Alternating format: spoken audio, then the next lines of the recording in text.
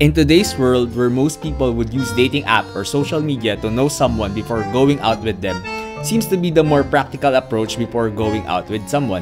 But today, I decided to go out on a blind date set up by my best friend to be more spontaneous and be more in the moment to know my date rather than know her at all before finally meeting each other.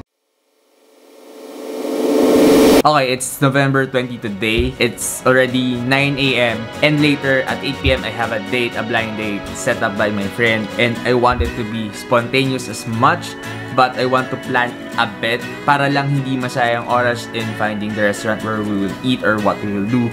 So, I'm thinking of making an options para dun sa ka-date ko.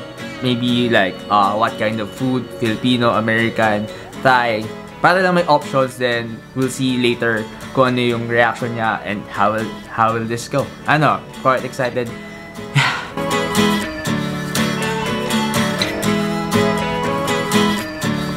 Now, I'm in front of my laptop searching for the options ng mga restaurants na pwede namin kainan and I guess I'll follow yung advice ni Jesus Escudero where you only date someone dun sa food or sa place na afford mo. Might as well bring her to a restaurant you can afford. Okay, to be honest, this is not my strengths in terms of dating.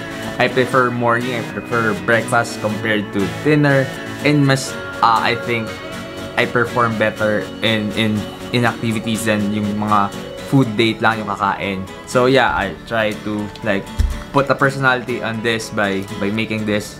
So yun. So hopefully uh, things went well and yung goal ko lang naman in this is to have fun and i-break yung comfort zone ko. I forgot also to learn as much dun sa person that I will be dating. So yun, that's all the goals I have for for this date. Hello? Oo, bakit? Ah, may tanong ako. Paano mamaya? Ah, paano ko siya makikita? Paano kayo magkikita? Bigay ko number mo sa kanya. Okay. Text niya na lang ako ganun. Tama ba? Punta ka na lang doon ng 7. Conrad. Con dun, kahit dun sa Conrad, di ba? Tapos sa Conrad lang. Formahan mo lang. Kabado ang puta. Hindi ako mabado, gagi. Lol, kabado ka. Ka rin kung practice ka, sasabihin ngayon tayo. Tanga, hindi. Lol. Ay, nako. Ako'y papaya. Punta ka. Basta na sila. Baka magkalat yung bata mo, boy. Ang ina mo. Ayos ka. Nakakaya, pre. Hindi ka makakabalik sa bangkong yun. Sige. Sige, good luck, pre. Lul. Sige. Bye. Okay, quick change of plan. Hindi na kami mag-meet sa MOA, sa Conrad. Uh, instead, we'll be meeting at W Mall. So, ayun. Uh, lahat ng ginawa ko kanina, lahat ng prepare ko would not be used. Kasi uh, that would, ano, hindi siya applicable dun sa air na yun. So, ayun. Uh, this time, it would be like a complete improv. So, hindi ako komportable not having any plan. But I guess I have to learn how to be comfortable with being uncomfortable. So, yun. So, hopefully, later, it would be fun.